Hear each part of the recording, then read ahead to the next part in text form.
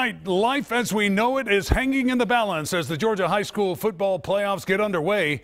We'll have a lot of games to get to on the big show tonight at 11, including an update on the playoff bracket. So be sure to join us for that. But first, our High Five Sports Game of the Week. It's our feature game of the night. Eagles Landing at Whitewater, a 5A first rounder. Bill joins us live with the final word from the South Side. Bill? Yeah.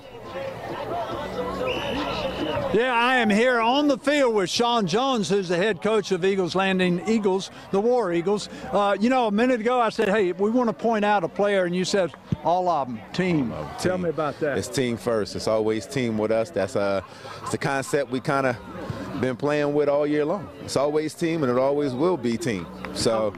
I was asking uh, Coach Holly about uh, coming home field advantage and having to go somewhere. Mm -hmm. How much difference does that make to you? You, you guys are not too far from here, but still, it's not home, is it? No, we we've traveled. We traveled well. Uh, we've been down to Houston. We've been, you know, Jones County, um, which is in our region, but in Gray, Georgia. So yeah, yeah. Our kids don't have a problem with, with coming 20, 25 minutes across the uh, across the road here. They excited? Yes, sir. Oh, really I excited. can tell it. You know, I'm looking at I'm looking at number 12. See your quarterback? He is our quarterback. Yeah, I, I, mean, they all look like they're just having a great time. All right, I know you got to talk to the officials. You go on over there. All Sean, we'll see you on the sidelines. Right. Uh, discuss what you're going to do.